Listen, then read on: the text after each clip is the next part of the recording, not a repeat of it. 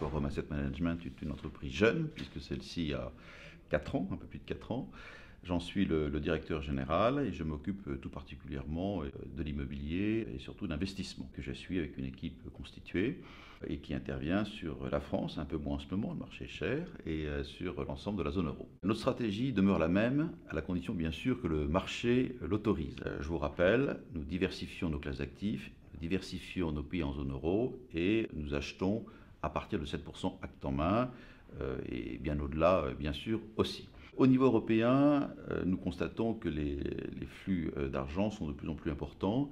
Le marché se tend, les taux baissent, mais il n'en demeure pas moins qu'il y a encore des marchés porteurs dans des pays porteurs. Donc on va continuer à, regarder ces pays. Clairement, je considère que la France est un pays qui a un atout considérable, c'est la profondeur de marché euh, et sa pérennité dans le temps. Et je pense que ces éléments de stabilité pour les investisseurs, notamment étrangers, sont des éléments forts.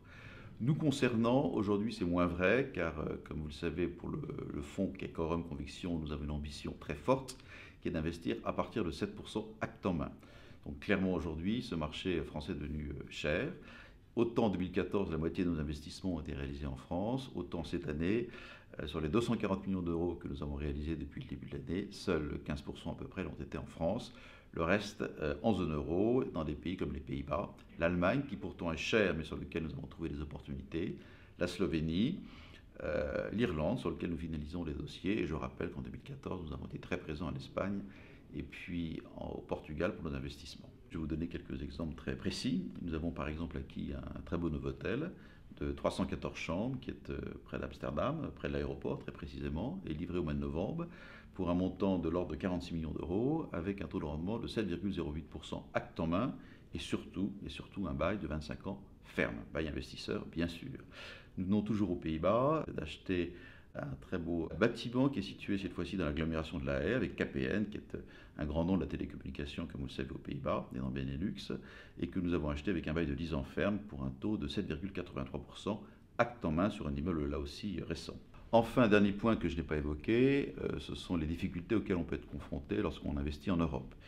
Eh bien, c'est la constitution d'une équipe, d'une équipe bilingue bien sûr, et avec des acteurs du pays bien sûr. Et dans cette équipe, on doit trouver un avocat dont le rôle est particulièrement important, puisqu'en général, dans le reste de l'Europe, les notaires n'ont pas un rôle prédominant comme en France.